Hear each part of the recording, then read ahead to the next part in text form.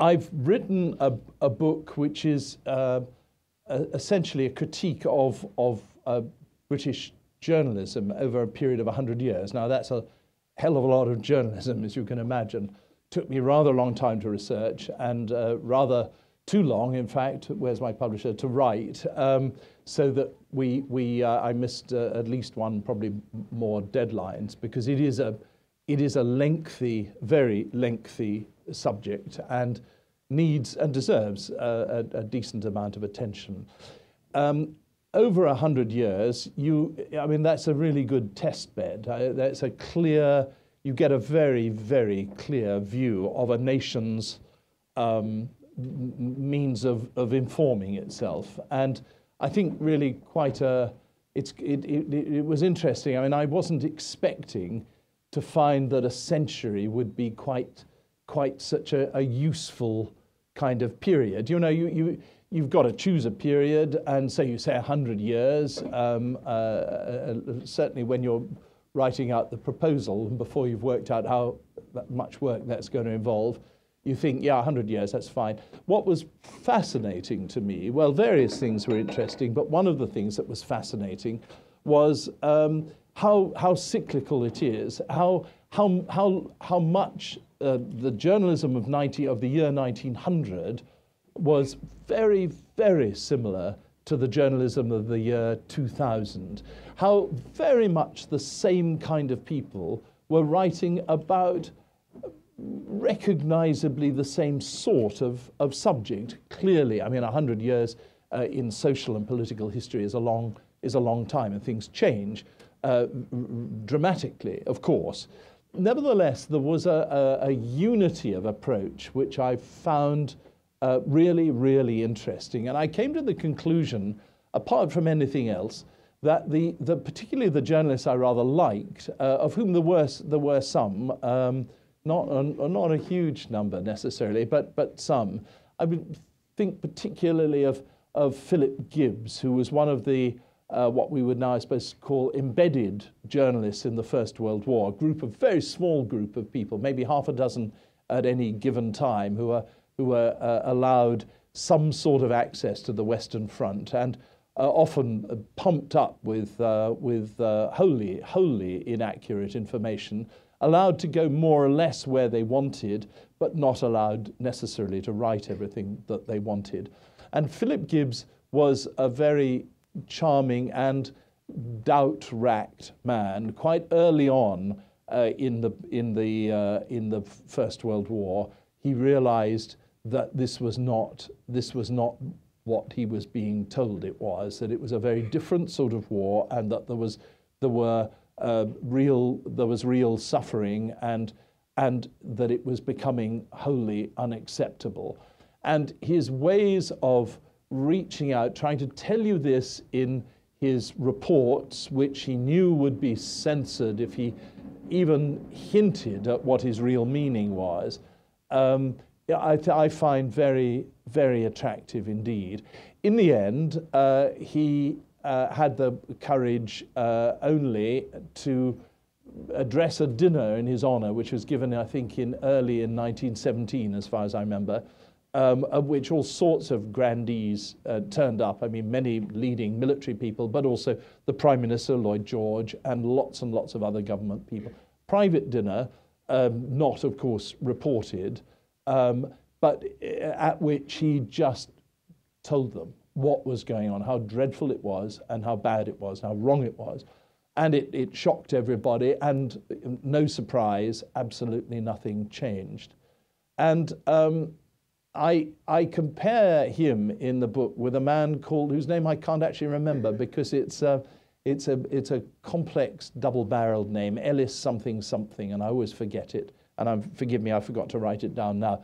But he, he also was another one of these embedded correspondents, but he was so embedded, he was the only correspondent uh, to, or certainly the only, the only British correspondent to be at the Dardanelles and uh, he wrote for just about everybody there, from, from the, the, the Daily Mirror to the, to the Daily uh, uh, Telegraph. And um, uh, Ellis, whatever his name was, um, uh, was uh, really early on quite quite in favour of the whole thing, charmed as everybody was by the general in command, General Hamilton, and slowly came to realise this whole thing was an utter disaster. That people's lives, men's lives, were just being thrown away without any care at all uh, in the most pointless and unwinnable conflict. And um, he started to write about it. Well, naturally, the of course the the uh, um, um, the, the uh, censors went absolutely berserk. And, but he was a man with a great kind of sense of himself. He was a military man to start off with. That's how he got the job in the first place, rather than a, a sort of standard journalist. And he simply um, decided that, all right, if he couldn't, uh, if he couldn't write it in the newspapers, and he was going to go back to London, and he was going to tell everybody he possibly could in London uh, what was going on, from the prime minister down, and he did. The prime minister at that stage, not being um, uh, not being um, um, uh, Lloyd George, but being Asquith at that stage, and, and uh, so he went back and he told them all about it. And he did something very clever, which got around the censor, censorship, which was otherwise very fierce. But, but one thing that wasn't censored was interviews, for reasons I don't quite understand. Under the appalling uh, um, uh, Defence of the Realm Act, DORA, uh, you, could, you could interview somebody and you could report everything they said. And uh, he used this, I think possibly for the first time, uh, to say precisely what he thought about, about the, uh, the Dardanelles campaign. And it came out, and it was, it was properly published as he said it.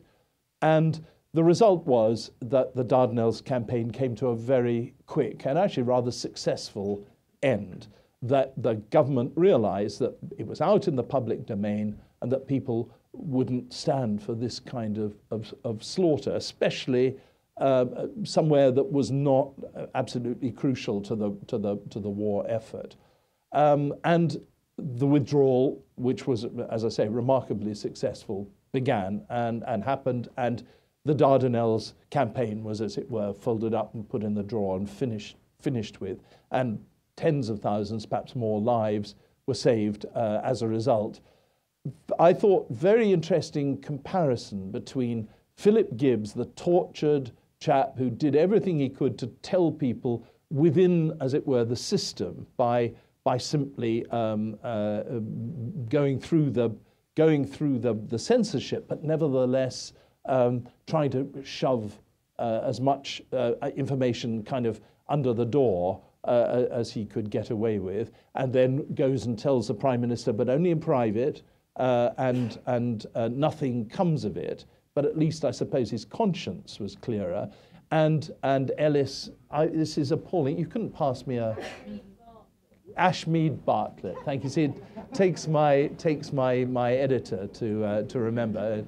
It's gone out of my mind long ago. I have problems remembering the years of the First World War, let alone the names of correspondents there.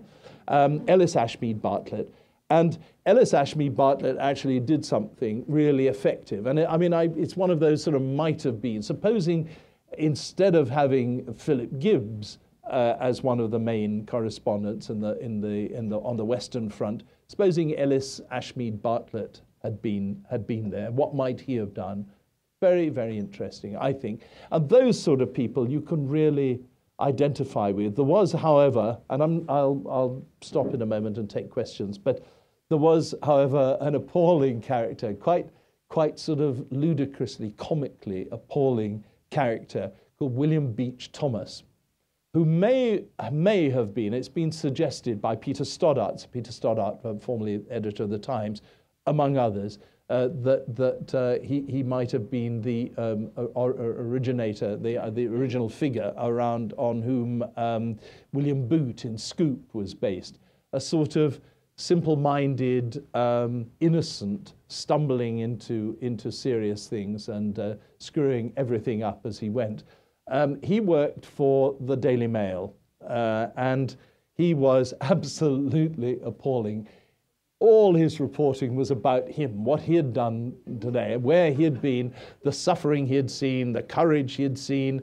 It gives the impression that from time to time, you know, probably not beyond uh, picking up a rifle and capturing the, a, a, trench or two opposite. You know, there's all that sort of sense of, of, uh, of, of him. He was lampooned absolutely wonderfully in the the, the great Trench newspaper. I do recommend anybody interested in the state of journalism to look at the Wipers Times, not long ago collected and, and edited with a, an introduction um, by, by Ian Hislop of, of Private Eye, because it was the private eye of the front line and, and marvelous. I mean, terribly dated, all the jokes incredibly dated, but with a, a sort of amusing spirit that just makes you feel good about humanity and that under those awful conditions they could. And they called him Teech Bomas, and they, they loved having uh, little uh, squibs about him, which, um, in fact, in many ways was so similar to what Beach Thomas himself was writing that, that I think you could slip the one into the other and not notice. Um, and the difference between two men who took this thing incredibly seriously, one of whom was prepared to really go all out in order to try to get changes, and the other man who simply talked about how fantastic uh, the British fighting spirit was and how they leapt up with a laugh on their faces and went and stabbed the enemy on the other side with their bayonets. Uh, was, remar- was absolutely remarkable. I once did an interview long ago in the 19 70s, which parts of which I've quoted, in fact, with, with an aged relative of mine who was both at the Battle of the Somme and at the Battle of Passchendaele. And he told me, and I confirmed it later with others, that the Daily Mail um, uh, reporters, by which he meant, I think, just Beach Thomas, were forbidden to go to the front line for their own safety because they, the soldiers hated them so much that they would have killed him. He's in this, this old relative of mine said they, they had, uh, they had an, um, uh, one, of his, uh, uh, uh, one of his articles pinned up on the, on the wall with a sign that said, if this bastard comes here, shoot him. Um, why? Because uh, you would think that, that Beach Thomas, always praising the British soldiers to the heights, would, uh, would, would be to their, to their, you know, they'd actually like something like that. But no, they felt that they, they were being traduced. They felt that they were, they were amazingly brave, those men, and they were willing to do the most appalling things, but they didn't want it to get out of, out of kilter in some way. They wanted to be seen for what they were. That was to say, men absolutely determined to do a job even if it cost them their lives. But they didn't want to be regarded as some kind of mad, loony characters that leapt up with a smile on their lips and loved to go and kill Germans because that wasn't what they wanted to do. And my other two, my two, the two heroes, I think, Philip Gibbs and, and Ellis Ashmead Bartlett, um, realized the, the truth of the fighting man and had got the respect there in the in the First World War. That is a a little a little very small little uh, chunk uh, uh, out of my book, not more than a few pages, but I. It, it's something that that meant quite a lot to me because the seems to me that the importance. It's a it, my book is really a a kind of of of uh, a, a pray of paean of praise to um, to report to the art of reporting of of of writing of going to see what's happening and writing about it as honestly as you can. There aren't that many people who behaved that well, alas, in this 600 page book. Um, a lot of journalists in 100 years, as you might imagine, uh, were, were, were, didn't do the job uh, as it should have been done, lied, sometimes uh, deliberately lied, sometimes, sometimes more often than not got it wrong, simply failed to understand what was going on. But there are again and again and again, there are people that realize what the truth was and told it as best they could. And um, among them, they came from newspapers you might not otherwise expect.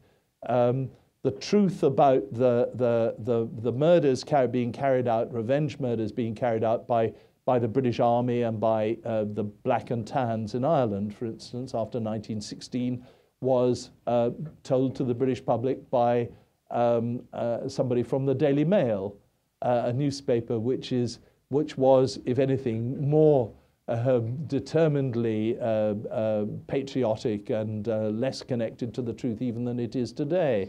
Um, the, uh, the best of the, of the correspondence in, in Germany after the rise of Hitler uh, was the man from the Daily Express, who was absolutely, who just simply went around Germany for a fairly short time, as you can imagine, before he got slung out of the country, telling people what was really going on, what was really happening to, to, to Jews in 1933, 1934.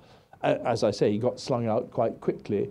But the, the Express, of all papers, uh, then took it upon itself to start a campaign against Hitler and always trying to report um, the, the, the daily events in, in, in Germany on the, uh, as it were, on the ground. I mean, what was happening to ordinary people under under, um, under Hitler, whereas uh, all the other newspapers, including the, the ones to the left who had correspondence there, um, tended to, well, wrote about simply the, um, the, the, the kind of uh, official life of Germany, as it were, what, what Hitler has said today, the new, in, the new rules that have been introduced today. Uh, the, the, um, the degree to which that they're being put into, into uh, effect, but kept their heads down, as journalists so often do in difficult places, in order not to get, not to get chucked out.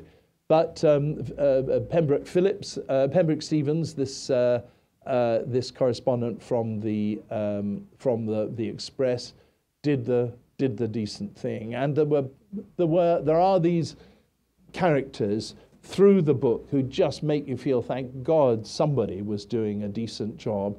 And the last thing I'll say before let, let, let's go to questions is that um, newspapers uh, overall, and I feel now, having read so many yellowing bits of paper and, uh, um, and, and transcripts under, under often actually rather difficult conditions, because I had to do my own uh, work for the BBC uh, uh, while I was uh, um, writing it.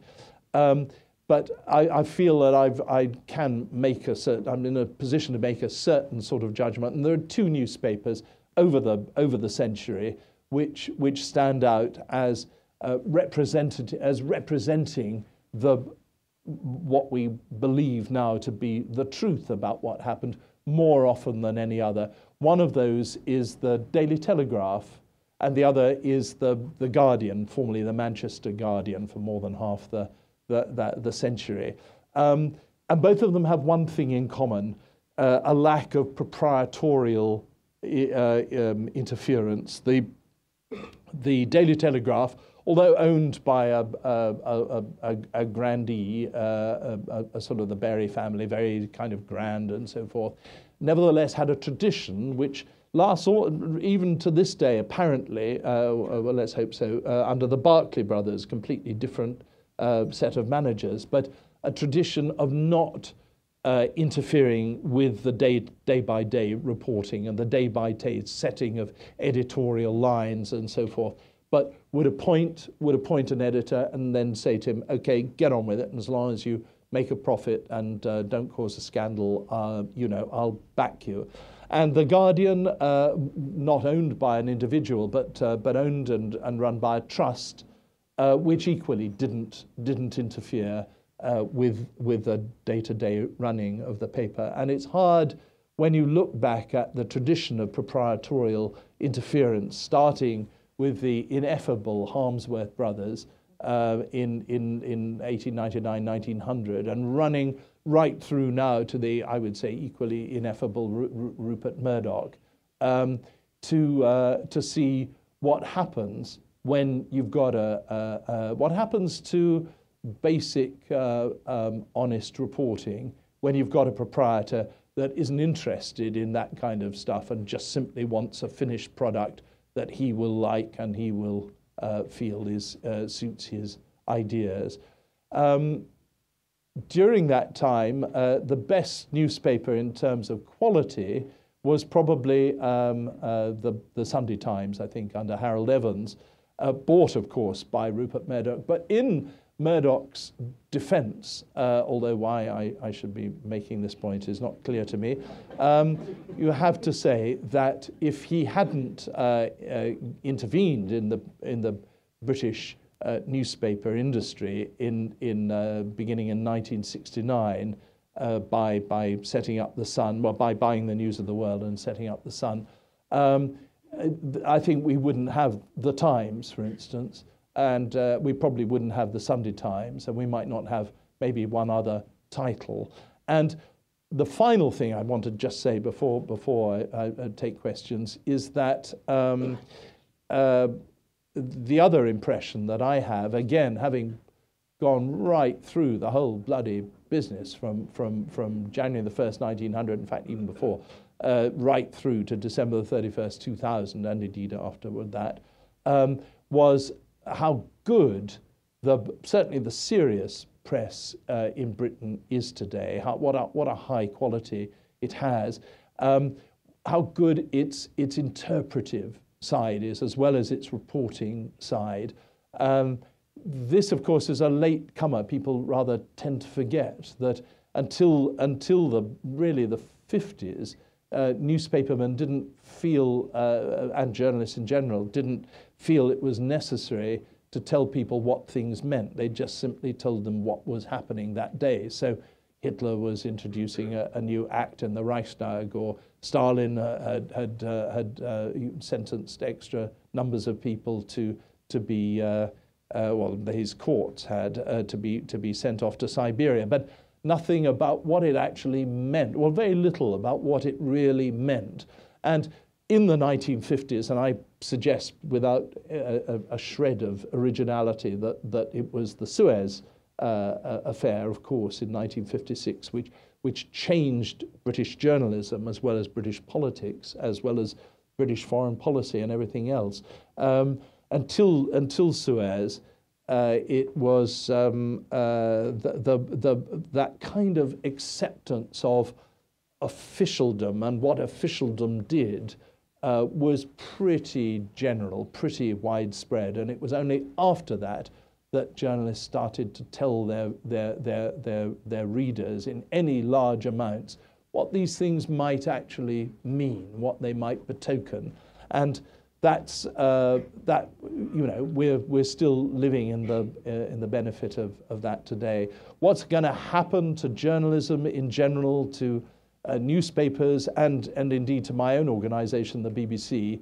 Uh, God knows, and I don't think. Well, I'm certain that at no stage uh, uh, um, in the period that I was covering did anybody have anything like the degree of uncertainty and doubt about the future that we that we now have. Um, I've talked. I've talked long enough. Now's the time, please, for, for, for you know comments and questions, and I, I'm I'm happy to answer anything and say anything. I'm too old to care. There's a gentleman right at the back, actually, right beside you. This will never happen again. Hi, hi. My name is Andrew uh, Storm. I don't work for any news organisation, but from your experience, um, when you come across a news event, What's the general advice you have for getting across the message of what you see, especially for radio and um, uh, in the written media when you don't have TV pictures? What's your uh, general advice for getting across the image to the listener? Oh, I, I, I don't really have a kind of. Uh, I mean, I, all you can all you can do. I've been a, both a a newspaper uh, reporter, though not, not for very long in my life, and uh, a radio reporter for a long period of time. I don't think it's any different from being, in that sense, from being a television reporter. I think the basic instincts are the same, and they're, they're I would say they're, they're the, they're the instincts that, that Philip Gibbs and loads and loads of others um, would themselves have followed. I mean, it, it really isn't, I don't think it's anything more than just trying, just trying to find out as best you can what's happening and get it back as quickly as possible. I know that's, that uh, doesn't sound uh, a very profound answer, and I, I apologize for it. But you know, journalism is a very blunt instrument, uh, as, as alas we, we know, and uh, um, uh, the journalists are, are, are always, in my experience, taken by surprise by what happens. And um, you just have to hope that your, your basic instincts will have some kind of, uh, of, of, of outlet and that you'll be able to, to um, register something which is worth having. But I'm, I'm sorry, that's a very feeble, I'll, I'll try to do better in a moment. There's a gentleman here.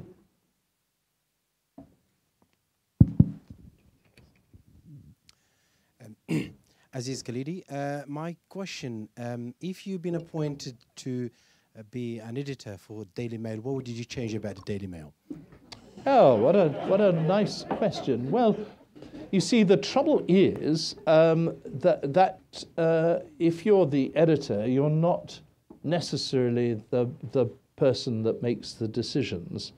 Uh, there, are, there are people above you. Uh, there's a, there's, a, there's a, a, super editor, and then above the super editor is, a, is an owner. Actually, nowadays, a rather sort of mild and, uh, and gentle uh, owner, as I understand it. I've only met him once. He was very nice to me and offered me a glass of champagne. So I, I take it that that's how he always is. But um, uh, it's, it, it, you see, you, you, if it, with a newspaper like the, like the uh, Daily Mail, and it's no different from uh, a newspaper like the Guardian in one, in, in one sense, or a newspaper or a, a, a news organization like the BBC in another sense. Um, it isn't just like a car that you get in and drive off in your own particular fashion. It, it has a will of its own. I mean, the editor, the biggest problem any editor has is in making the faintest of, of changes in, in the way that this, that this uh, organization runs down the road. That's very difficult. So you'd have to, you'd have to change the entire, to change the way the Daily Mail was, you'd have to change uh, the entire ethos, the entire philosophy of uh, that everybody in that organization from top to bottom had grown up with and, and was used to. So I, I don't, I, I don't, I mean, I've, I personally felt um, that I, when I came across bits of the Daily Mail, little clippings and things from the Daily Mail that I wanted to use, it was often with a real sense of, of enjoyment and relief because there's a liveliness about the Mail, even though, you know, almost every article always seems to have been, right down throughout history, about how appalling something is and what a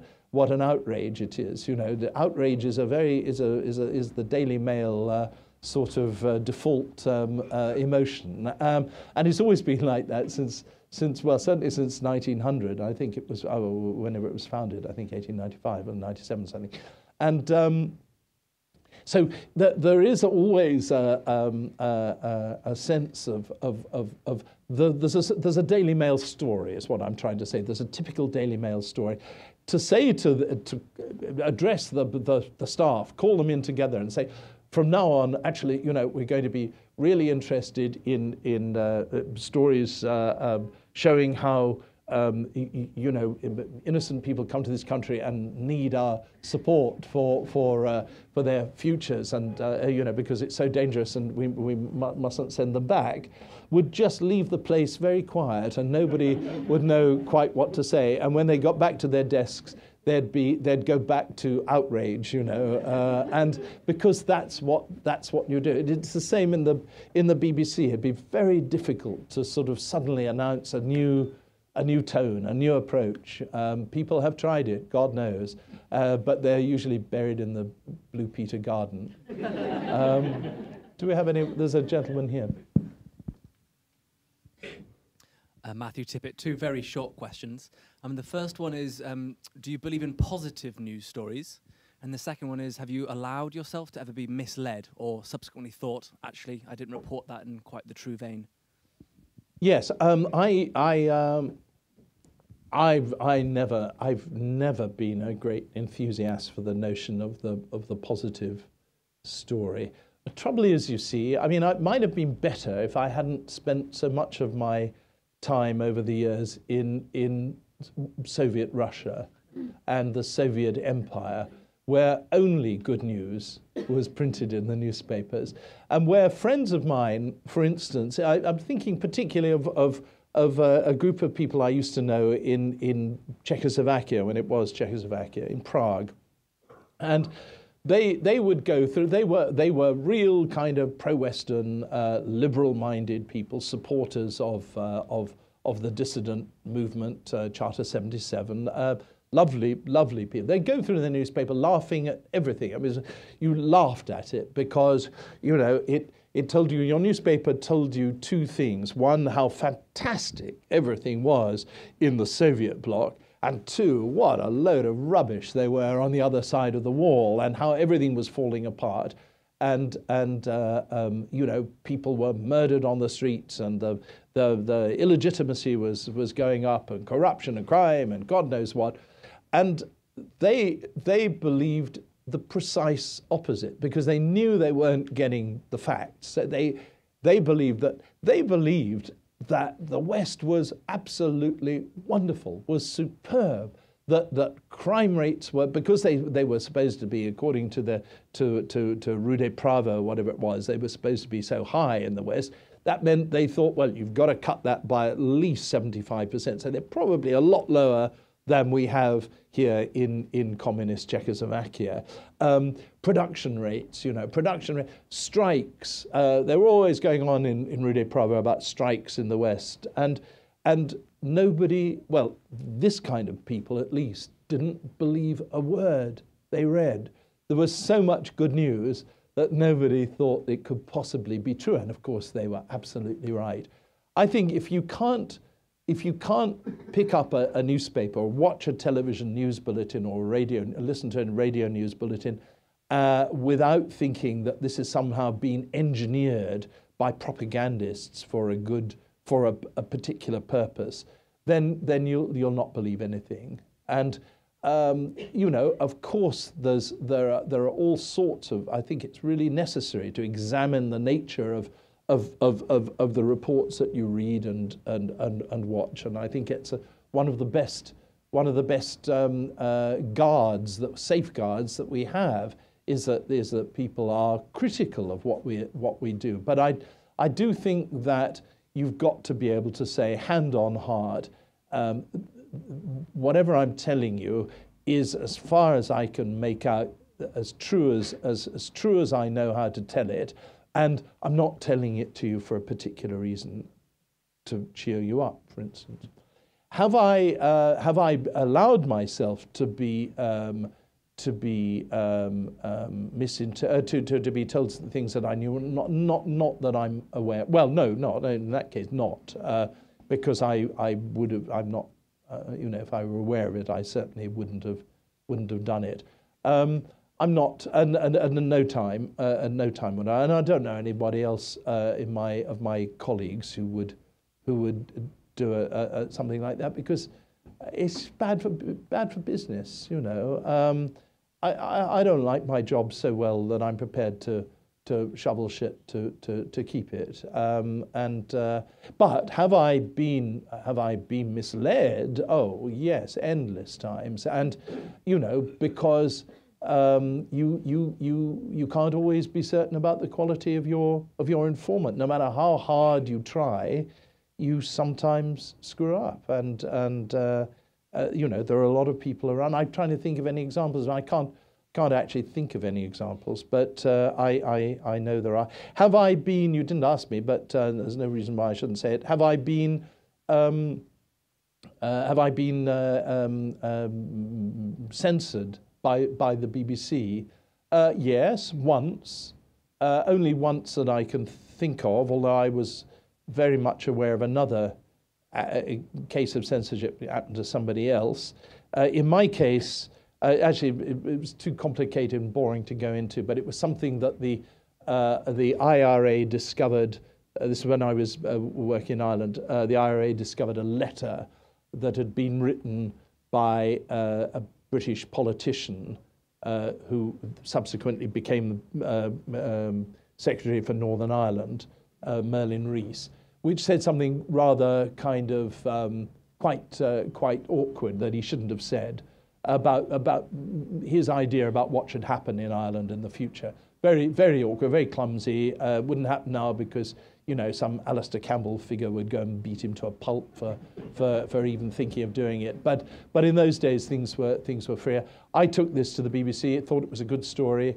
Um, the BBC got, um, uh, got in touch with uh, the Northern Ireland office, who said that they'd been through their files and couldn't find uh, a copy of the letter, so they wondered whether uh, they thought it might not be entirely genuine. Um, three weeks later, uh, the letter was published, was made public by the IRA. This was given to me by some IRA contact of mine. Um, later, the IRA made it public, and the Northern Ireland office actually found the copy and said that they didn't think there was anything in it, and they couldn't understand what all the fuss was about. So um, that was, I feel, I felt bad about that. Uh, on the other hand, if if a government ministry tells you uh, with no matter how carefully the words were chosen, that it doesn't seem to be true. I suppose maybe you had. The, the case that I, I thought was much worse was uh, of a friend of mine who was hanging out, out outside Long Kesh um, uh, detention centre. This was very early on, on uh, after direct rule had been instituted in Northern Ireland, and found people coming out just coming out, you know, with bundles. They were they were let out in in quite large uh, uh, uh, chunks and uh, coming out with with sort of brown paper parcels under their arms and saying um, again and again and again that they'd been tortured in one way or another by the British soldiers. That they'd had the, the stories all all cohered. I mean, they'd had buckets put over their heads and the buckets had been beaten with spoons and there'd been white the use of white noise. All of these things absolutely established afterwards. Um, Came back, uh, nobody wanted to use it uh, because I suppose it was the, the, there wasn't any sort of backup at that stage. Following morning, it was in all the newspapers, and we uh, we followed on. Um, I wasn't very happy about that, but since it wasn't me, I didn't feel any necessity actually to resign. But I think my, friend, my friend did uh, did did did resign. So, so, that's my only experience, thank God, with uh, with uh, censorship.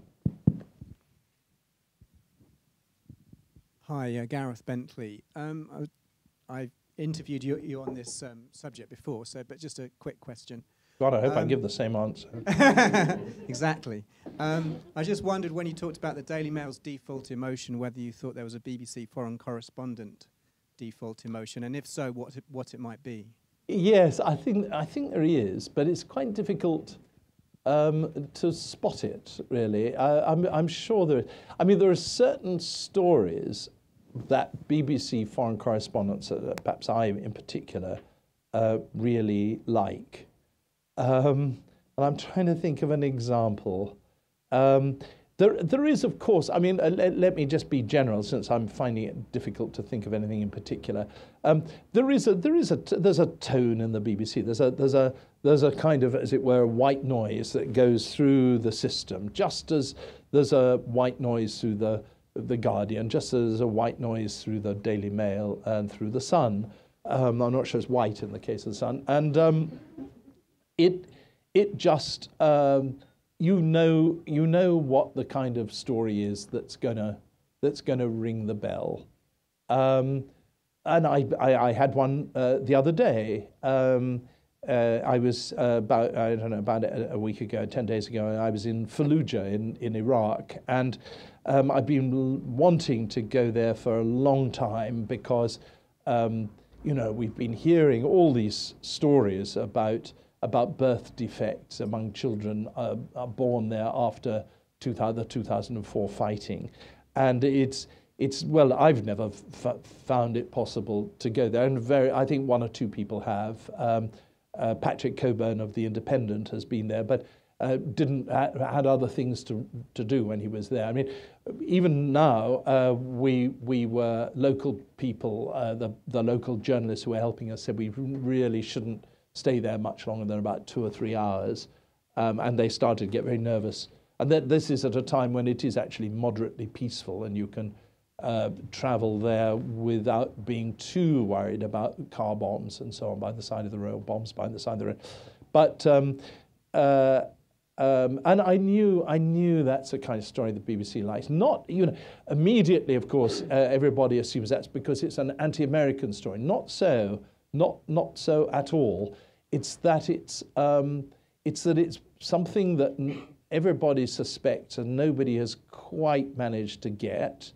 Uh, it's something that uh, makes really good, sad to say it, and what a thing, well, what a way to, to, to put it, but makes pictures that everybody's going to look at and not, not I mean, ch children with, with six fingers on each hand and six toes on each, kids born with three heads, stuff like that. I mean, this is, this is, this is appalling. Um, but it's the kind of thing, you know, it's kind of evidence of something really bad. And, and um, uh, I just, I just felt, I, I just knew that they'd, and of course, when, when we got back, they all want, wanted it and they all played it up tremendously. To the, to the, I think, actually quite understandable irritation of the poor old American embassy who um, felt that we had, you know, they, they just felt they couldn't turn on the television or radio without hearing this story, which must, when you've got as many outlets as the, as the BBC has, uh, must be quite,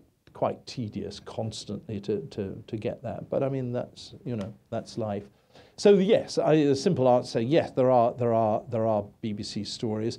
Um, and sometimes, uh, you, you, know, the, sometimes it irritates me, uh, and I'm one of the main purveyors it it irritates me that we always go to the hospital. Uh, of course, guess where I went in Fallujah first. Um, but nevertheless, there is a sort of, there's a kind of, uh, of um, reach me down um, sort of a story layout, you know, start with hospital, go and see some people, come back, do a few pictures of blokes with guns and then a piece to camera. It's a, it, there, there, it's a, a, possibly a little bit um, formulaic a lady there. Hi, Morag Livingston. Um, I just wondered if you'd ever been stopped from going somewhere before you got there, like I believe Don McCullin was before he got to the Falklands.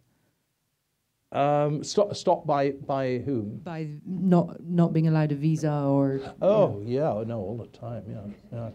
No, I mean there's uh, there's a long list of of places where, where well, there's a list at any rate, where I'm, I, you know, can't get visas to. Um, Iran is an example of a country where I um, go from time to time as short bursts, and then for long years at a time, six, seven years, I'm not allowed back. And I, I was there for the, uh, of course, fascinating election and its aftermath in back in June.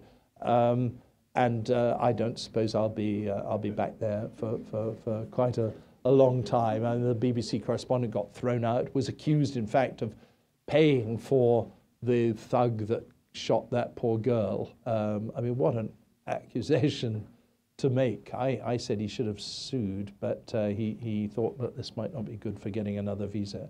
Um, uh, but which he's not going to get anyway. Um, um, you know, there's, there's that, that's, I've, fortunately, I mean, the thing is, of course, nobody really likes that kind of thing. Nobody really wants to be barred from a country. You know, there are only about, what, 189 of them or something, you know, and you tick them off and you, you, you, you upset them one by one, and soon all you're left with is Austria. And, um, and even that, actually, after recent events, might not be wholly keen on having you. Um, and, but I, I, just, I just think um, I've actually now.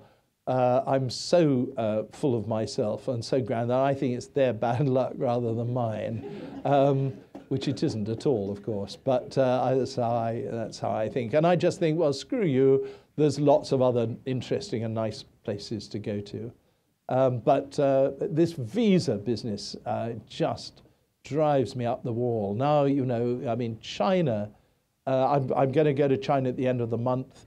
Um, I've got to deliver a lecture about journalistic ethics uh, to the Chinese, to Chinese officials. I mean, Christ knows what this is going to be like.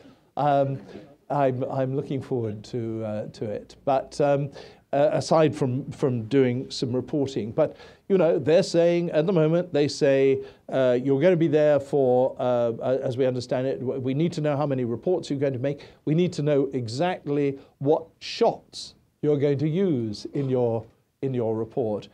And, um, well, at the moment, I've just, uh, I haven't answered actually. I've done a traditional Simpson thing and just ignored it. But, uh, like with my bank manager. But the, uh, the, no doubt, like with my bank manager, I won't be able to keep this up forever, and I'll have to, uh, I'll have to, to, to do it. So this bloody business of visas, I think, is a, is a scandal. You know, dear old um, Ernest Bevin, I think probably the greatest foreign secretary this country has ever had, um, much mocked because he, he was a uh, member of the, he was a leader of the Transport and General Workers Union, had a very strong Cockney accent.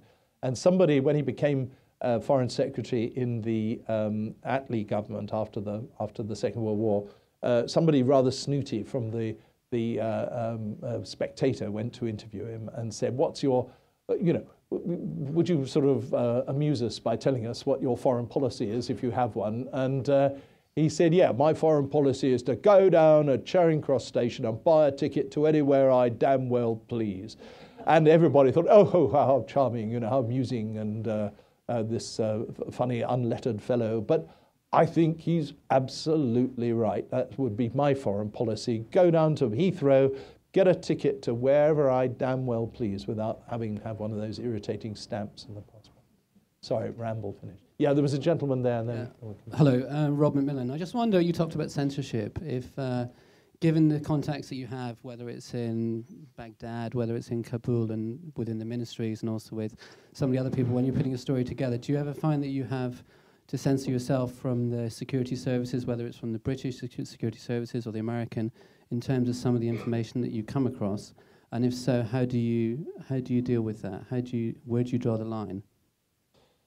Um, very, very difficult question. I, I wouldn't to be honest, I don't think that's how it how it impinges on a on a reporter so much as um, how how do you protect the people that that have told you things that perhaps they shouldn't tell you, whether they're whether they're they're, they're intelligence people or, or or perhaps perhaps a bit naive, perhaps just over, out, overspoke themselves, misspoke themselves in some way. Um, I'm not one of those journalists that, that says, well, you said it, so you've got to live with the consequences. I think life's too short to, uh, to take that kind of uh, sort of tough, fairly fierce line. Um, I wouldn't want to feel that I'd betrayed a, a, confidence in some way. Um, so I, I, these things uh, differ from, and, and it's part of the pleasure of the job in a sense that you get these immense conundrums, moral conundrums. How, you know, how do you how do you sort it out? How do you deal with it? How do you how do you cope with it without without betraying the people that that that trusted you not to betray them? I mean, when you when you it's it's bad enough for, for, for you know with British journalists somebody like me uh, doing interviews uh, not, not, not with our friend but but with others um, you know to make certain they're not going to stitch you up but when when your life is perhaps on the line a bit or certainly your job is on the line I think you have to be really quite careful but you do have and this is where the real kind of pomposity comes in I'm afraid but you do have a, a duty to be honest and not to be not to be dishonest on anybody's behalf. So it, these things are terribly fine judgments, and I mean, you know, I must have got it wrong so many, many, many times, but uh, you just hope not to, really. There's a la- there was a lady here somewhere. I should make you run around. Now I should have somebody down there. Then. Hi, I'm just wondering what you think of the young journalists of today and if you have any advice for them. Um, well, I mean, I don't, I don't see uh, any, any uh, kind of um, cultural or, or, or, or sort of uh, intellectual difference between young young journalists today, the ones that, that I see, which not actually sadly very many, because by the time they get to the BBC, they're probably not allowed in until they're 45. Um, uh, but I do, I do come across. But I mean, they, they seem to me to be exactly like like I was when I was 22 and started being a, a full-time journalist. Um, you know, often very naive and and uh, uh, but often with a real sense of of of kind of duty, which I find really very very attractive. Uh, a sense that they're doing something by being journalists. You know, you have every time you get one of these films about how wonderful journalists are, which Hollywood seems to want to turn out for reasons I don't, I can't understand. You get waves of young of young people coming into the business, uh, feeling that they they too want to be part of a sort of crusade against against evil. I don't suppose that feeling lasts terribly long, sadly. Um, what advice would I? But so I don't. I mean, I just think I just think it's the same. The same as that really is the message of one of the many messages of my book that it's the same kind of people, and that journalists today and journalists in say 1910 would find themselves understanding each other entirely, doing writing the same kind of stuff and reporting on the same kind of stories. Uh, maybe that's a disadvantage. Maybe it's wrong. I don't know, but it's it certainly seems to be the fact. Um, what advice to give? These are hard days for for the future of journalism. Uh, somebody said to me yesterday, I think, uh, a bright-eyed, highly intelligent young woman said to me, you know, she longed to be a journalist. What was what was my advice for getting into the business? And actually, if I didn't say this at all because you don't want to be too gloomy, but my advice would be to get into some kind of job which was close to journalism, where you could uh, sort of fi- get work out the basics of it. I don't know, PR or something like that, and wait for the moment to see whether whether whether journalism has a proper future, the kind of journalism that that, that, that we have had. Uh, I know that's immensely gloomy. So I didn't say that at all. I said what I often say to people, which is the best way into any form of journalism, written or, or, um, uh, or broadcasting journalism, is to, is to go to a local, a local newspaper or a local radio station. Be prepared to work for absolutely nothing because they, they're, you know, um, William Wilberforce would be interested in their in their management uh, proceedings, and uh, it's uh, um, you know just work for nothing for for, for, for some time, and uh, and then usually kind of make it, but make it to what you see. I mean, I just don't. I'm sure that some form of of uh, of um, uh, newspaper, something, whether it's in paper or whether it's in some gadget some some iPad. What a fantastic name! Women all over the world must have thought about that. Um, uh, I got my iPad. Um, uh, you know, whether it's that, whether it's um, uh, something that we nobody has even thought of yet. God knows what happens with television. I mean, you know, the audiences for television dropping hugely. Um, will will there be a future for organized news reporting on television? God knows. God knows. I mean, I suppose there will be, but uh, who, who can tell? Thank you. David Nib- sorry, uh, David Niblock, do you have any regrets and also anything of which you're particularly proud? Oh, regrets. Yes, I've, uh, I've got uh, I've got so many, and they're all about they're all about mistakes, really. I mean, I've got, I've got practical regrets. Um, not many days pass uh, without uh, my thinking about how I uh, led a team of people, including my local translator, into being bombed by, by the Americans in 2003. And my translators would now would now be 32, I think, um, lost his life, um, died in, in, in, front of us. Um, that's the kind of regret that you, know, you don't ever get away from. And I, I, I, from, I don't mean to say, I, don't, I really don't mean to say I'm haunted by it in the sense of, of, of, of, of guilt because I feel I'm responsible for it, because I, I wasn't. I mean, we, there was no reason to think that an American um, aircraft would bomb us at a, at a uh, yeah, where we were and with, given the company we were in, which was other American troops.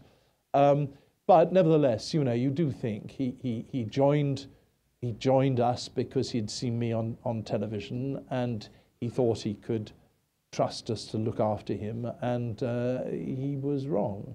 Um, so there's not, as I say, not many days when I don't, I don't regret that. A uh, lot of stories that I, I regret. Um, I very much, fortunately, not for the BBC so much. Um, the BBC does prevent you from going out on any kind of, of limb um, and giving, uh, giving um, too, too strong an opinion on things. Sometimes it's irritating. More often than not, it's a bit of a relief because so often your, your, your opinions turn out to be crap.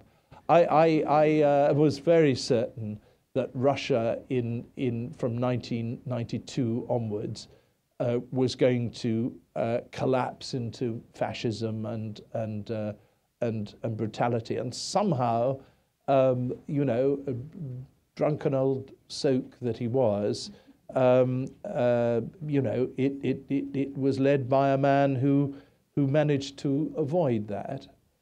But it didn't stop me writing all about how it was going to happen in the, in the Spectator, which I then used to be part of uh, one of the writers for. And um, I, I'm, I, I'm, you know, I often think about that, and I often think, bugger, you know, why did I just, why didn't I just say, on the other hand, course, things may, you know, it's it's so much a, a, matter of tone, and you you can you can convince yourself so easily. That's why I, I I'm Nowadays, we're all banned in the BBC from writing uh, news stuff from magazines and newspapers. And yeah, okay.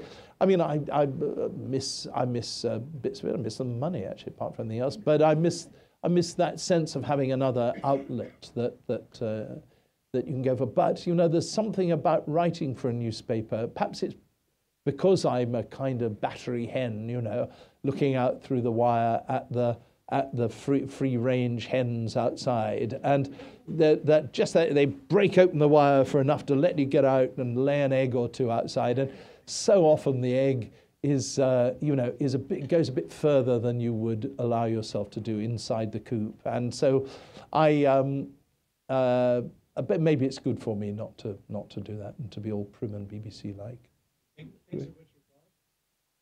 Um, no, I mean, I don't know. Um, I, I, actually, the main thing I'm proud of is that I'm 65 and I'm still in a job. I, I that um, I'm proud of little things. I am proud of little. I'm proud. I'm proud of a letter I wrote. I don't want to go into this too much, but um, there was a time when that awful business uh, the, with um, um, uh, Hutton and, uh, and uh, all of that dreadful, dreadful business, which I look back on with loathing and, and uh, find it hard to be charitable in any sense to some of the people involved in that.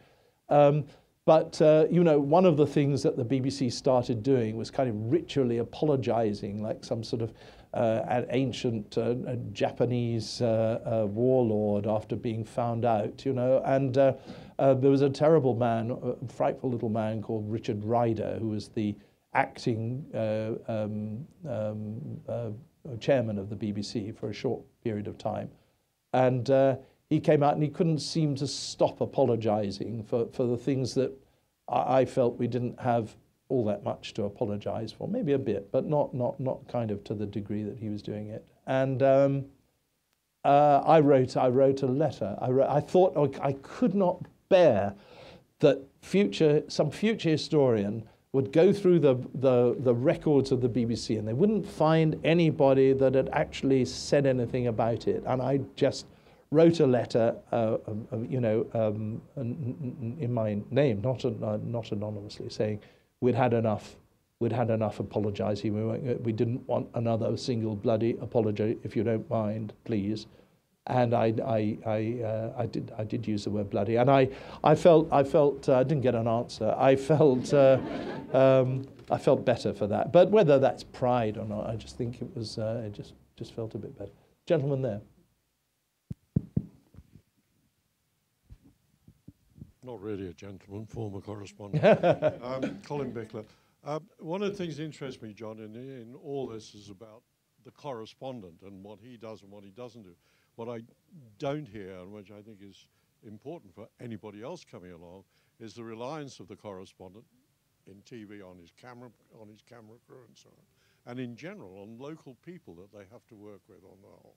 And where would we be if we didn't have these people around? And you mentioned, sadly, the man who died in Iraq, but the, the, the, the story of foreign correspondence is full of this sort of thing.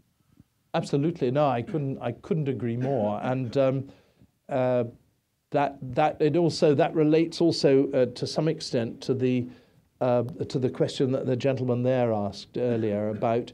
Um, only I, I think it's in a different direction from how what, that he was tending in. But but that uh, what you how you get your information and what happens to the people, as you say, Colin, what happens effectively to the people that are that after you've gone back and you've got the plaudits and you're now thinking about a different story in a different part of the world, but you know they've got the the cops uh, still on their backs and and uh, they the cops want to know where you got the information from and so forth. And there's a I think a tremendous duty of care uh, for for people like that. You've got to use them with the greatest sensitivity to their to their own interests. Uh, not easy to do, um, but um, I, I, I think that that's one of the major major um, uh, elements in in uh, in a in a decent reporter's.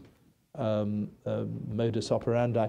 For the cameraman, yes, absolutely. I mean, there are fewer and fewer of all of us nowadays, um, and I'm sure they'll be asking me to do the camera work soon. But uh, um, yeah, I mean, you can't do it without them, and uh, um, you know, they're they're the the the great uh, the great companions of your of your uh, time in these on these stories. They make it uh, their company makes it really worthwhile.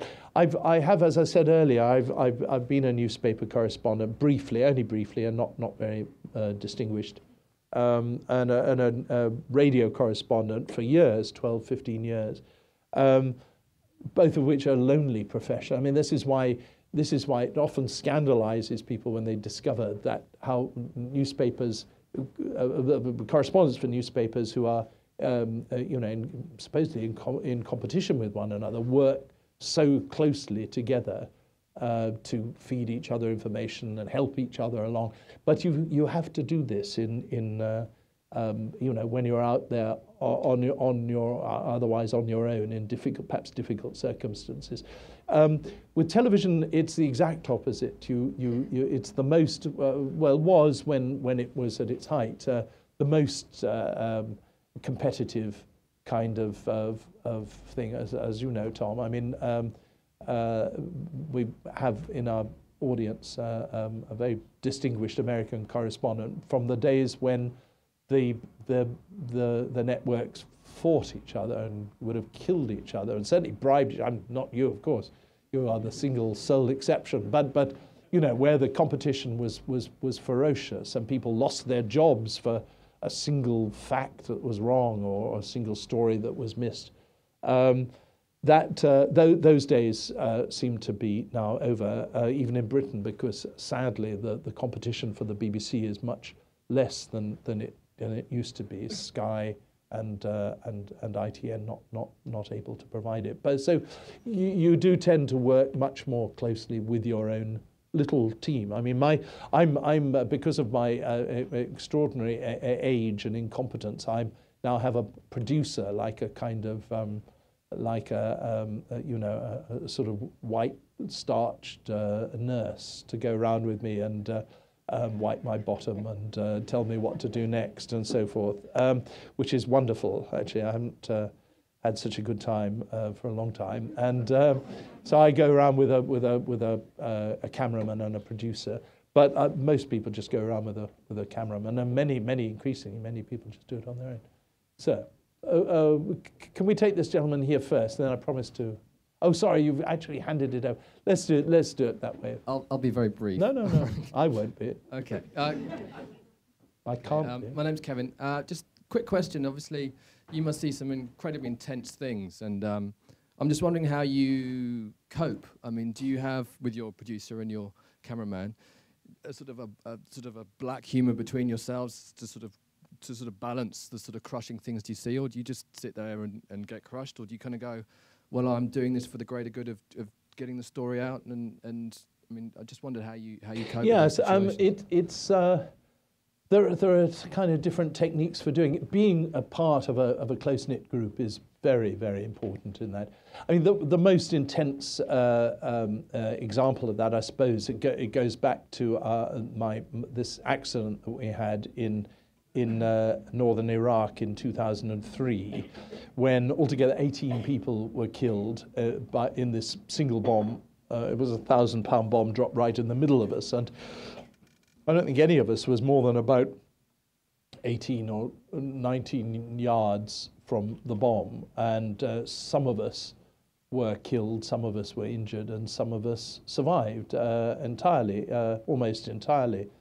Um, and it, it all just simply depended where you were standing and the, the actual direction of the bomb, which was explained to me is called the bug splat effect, like a bomb, like an insect hitting your windscreen, and it goes in a sort of fan thing. So I was only as far fro- from where the bomb dropped as I am from the back of the, the room here, and a thousand pound bomb makes quite a loud noise, um, and and yet you know survived with just deafness and a big lump of shrapnel on my backside. But that was it.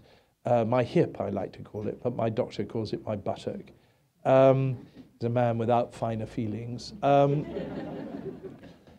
pretty unpleasant, and I mean, we, wa- you know, I, I watched quite a few people. I can't think how many, but six, seven, eight people burning to death, not able to do anything about it. Which feels pretty rough.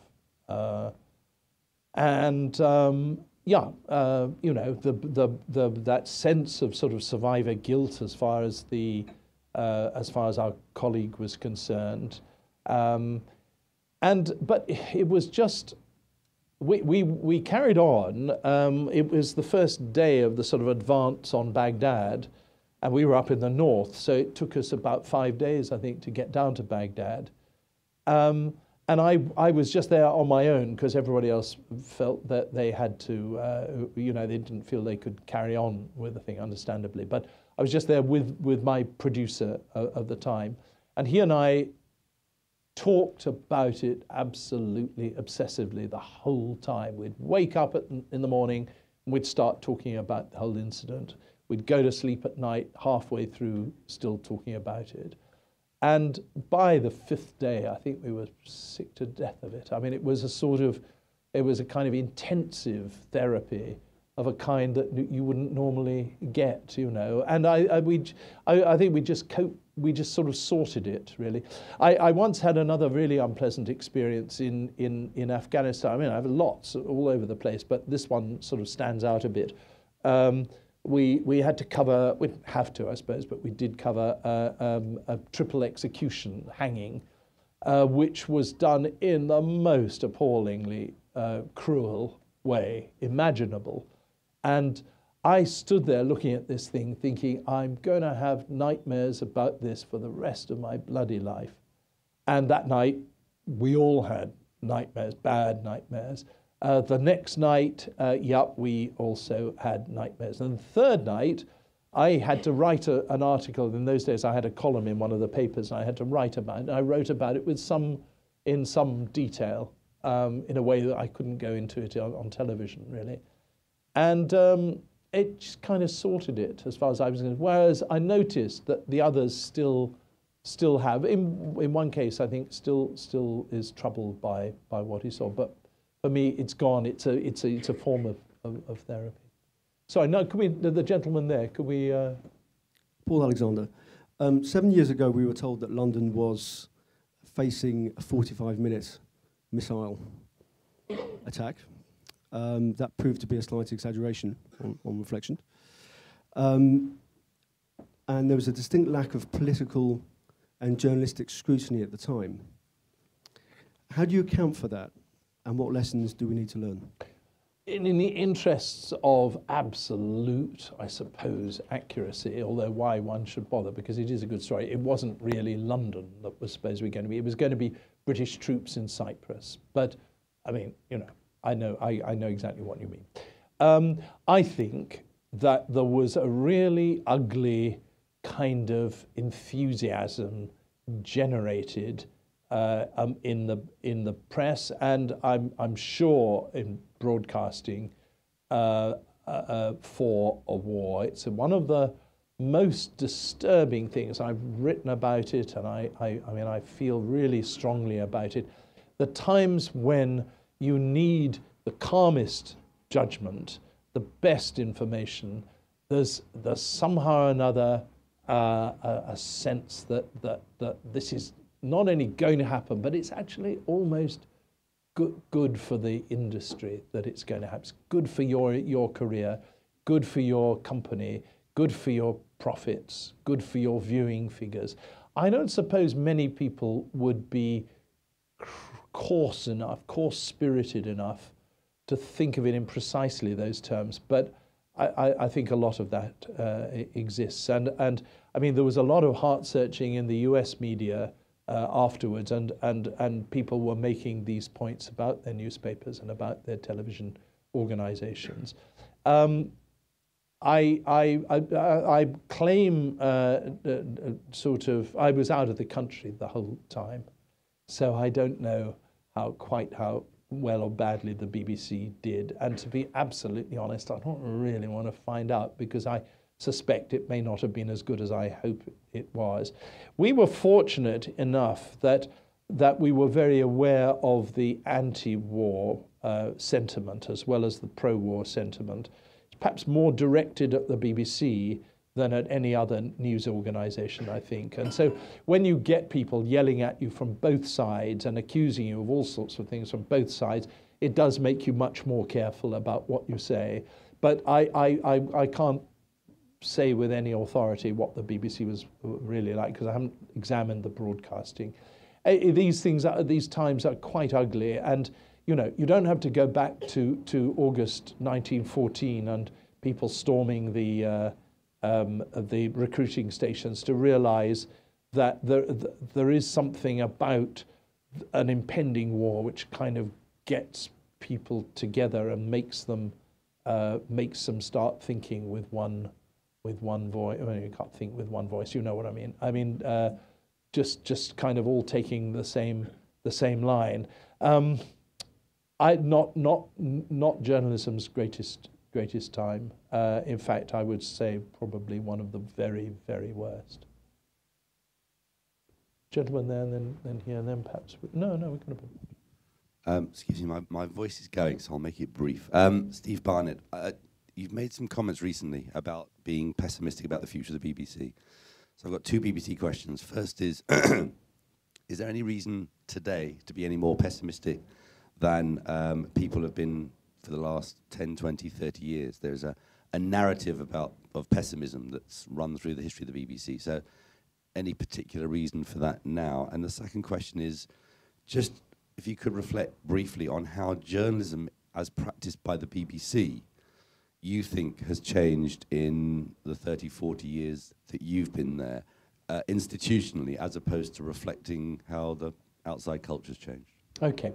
Um, you're absolutely right. There is a, there's a sort of, there's something uh, uh, in, in the culture inside the BBC, as opposed to most other organizations I've kind of observed, uh, that does sort of uh, it's as though it's as though we're all going around with uh, with signs that say the end of the world is nigh. There is I, I certainly agree with that, um, but uh, you know just because you're paranoid doesn't mean to say they're not out to get you. And um, the uh, there are there's a greater far greater intensity of people being out to get us now than there has been at any other time in my 44 years with the BBC, and I, I suspect, uh, therefore, ever.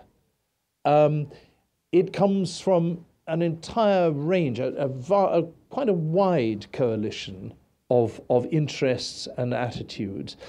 Um, it comes from uh, often quite sort of conservative minded people who believe that the license fee is a tax uh, which nobody has ever really voted on or agreed on, um, and that there's a desire not to not to pay it, um, not for the money, not but because of the because of the principle.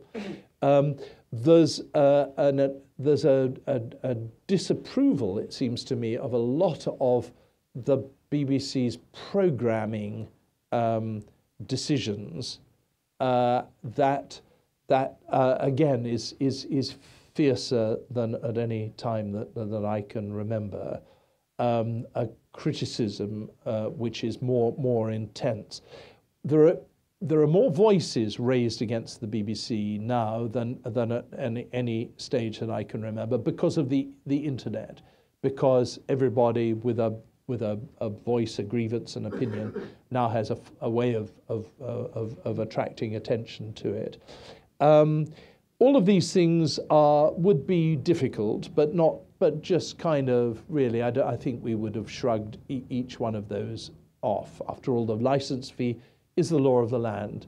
Um, you don't pay it, you you get you get jailed for it in the worst case scenarios. Um, that's all fine. The trouble is something's happened in poli within politics. Um, the the key, the the sort of what what what uh, um, um, um, how typical. I, that's absolutely. I'm really pleased with myself for that because I was going to make you a classical Latin uh, um, uh, example and uh, forgot the name of the bloke that wrote it. So that, that serves me right. Hung with my own. Um, the the uh, the fact is that um, uh, the key to the the secret of empire Tacitus's phrase, the secret of empire, uh, which was that the army can overthrow emperors um, in, in, in ancient Rome. Uh, the secret of, of, of, controlling the BBC is, is, out. Get your hands on the license fee, start controlling the license fee, the level of the license fee, the, the degree to which it goes up or, or, or, or not, and you start to control the, the, the nature of the BBC. This was not. This has not been. It's been threatened. It was threatened under Wilson. Uh, it was threatened uh, certainly under Thatcher. Neither of them actually did anything about it. Uh, it's taken the, the, that kind of ferocity that Alastair Campbell brought into British public life uh, to, to, uh, to happen, and the Conservatives have followed, uh, have followed suit.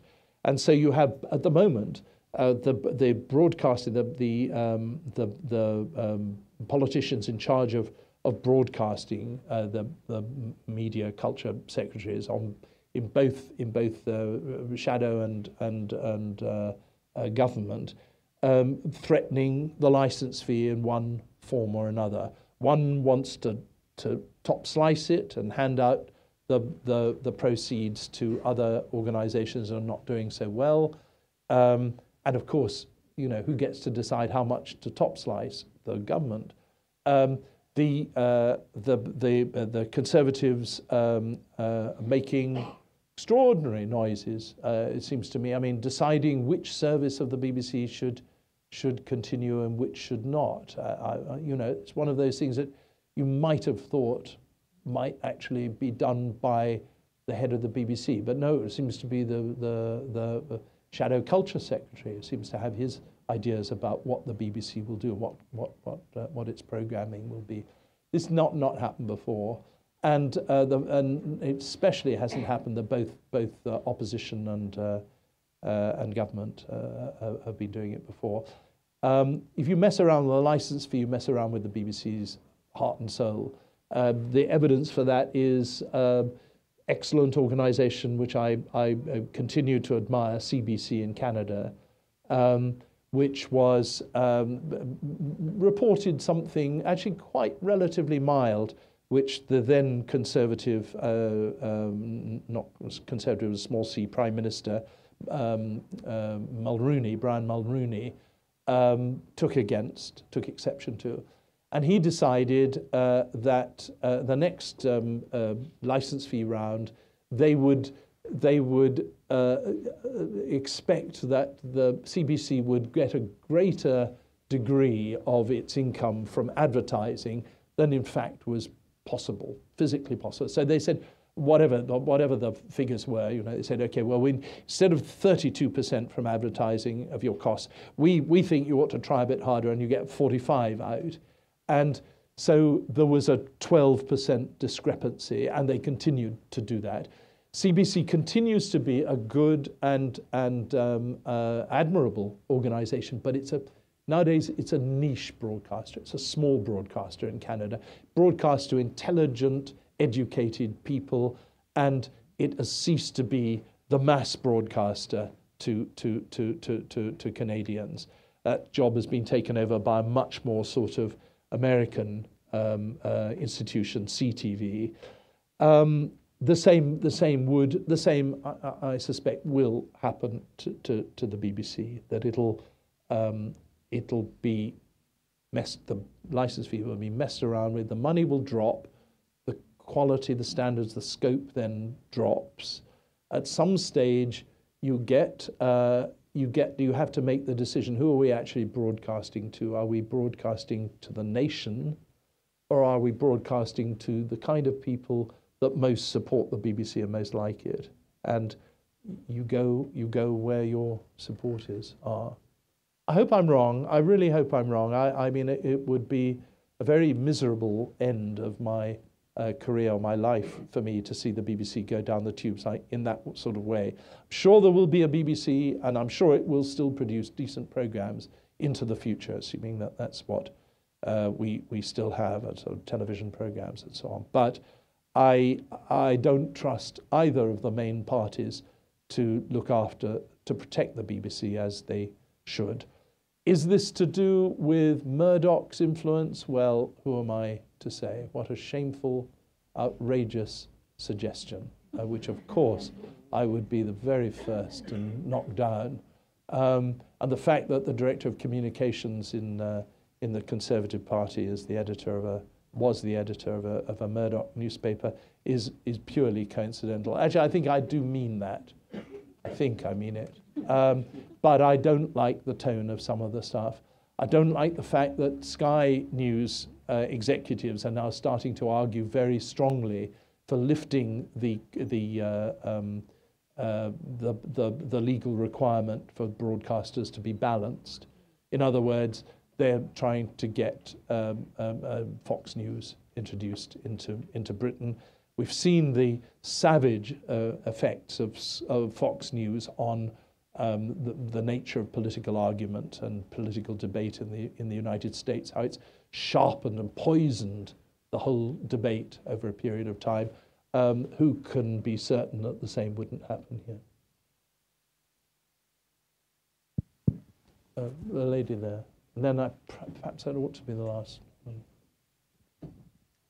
Um, to what extent do you think uh, journalism and writing is writing the history? To what extent do I think journalism is writing history? Um, I, not, not as much as I would like it to be. I mean, and I, again, you know, I'm now going back to my to my uh, sort of authorial uh, voice because um, you know, reading over a period of two intensive years, reading, reading, reading uh, uh, journalism, pretty depressing thought actually. Um, it, it, you realize how ineffably wrong so much of it is by decent people that, you know, thought that they were, they were reporting the right thing. I mean, the clear, the clearest, most obvious example is uh, the, the outbreak of the, of the First World War when people went walking into it blindfold. Nobody seemed to realize, politicians realized the dangers, but the newspapers didn't. Um, uh, same perhaps with the Second World War, the, the, the uh, Beaverbrook uh, insisted that the, um, the, the, Daily Express should have under its masthead, the Daily Express assures its readers that there will be no war in 1939. Um, you know, this doesn't make for the best kind of history uh, uh, when you when you have such mistaken judgments, such misunderstandings of what's happening around you. But this is a shock, I know, to many, many, many people, but journalists are only human and no, can see no further, of course, uh, than, than anybody else and um, than the, the rest of society. And uh, probably less for, for, for, for, for different reasons. And you stumble your way through. It's why I feel such sympathy for my, my colleagues of, of the past, because I mean, I, I you know, I, I've no idea what, what, when I go to a place what's going to happen. Of course, who does? I mean, you know, you, you, are not, we can't be God. And so historians have a kind of godlike quality because they can make grand judgments about broad sweeps of history. But the poor old hack stuck up there at the front as it's happening, trying to find out what's, with half their mind, trying to find out what's going on. Half the, the rest of their mind is, is, is, is focused on how to get it back under often difficult circumstances which haven't got fantastically better since 1900. Um, uh, you know, you still you've you've still got to pay attention to these things, and so you you stumble through the fog uh, in a in a dense wood. Uh, you don't know where the way out is. You know, or the hell's happening. You just hope that you can make sense of the little patch where you find yourself. And the people that do that with honesty and decency uh, are the heroes of this book of mine. Um, the ones that knew that they weren't telling the truth, but wrote it anyway, are the, the big villains. My dear friend and mentor, mentoress, Martha Gellhorn, whom I, I, I, I miss uh, every time I think of her, which is very often, um, used to say that the only defense of journalism is that it's uh, is when it's um, a, a, a, decent uh, account of what our lives actually are. And I, I, I think that's, that's absolutely right. So better than that, anybody who makes greater claims for it is a bit of an idiot. Um, and, um, you know, but it's all we've got. And uh, that's, that's its only defense. We're all we've got. Thank you very much indeed. Thank you.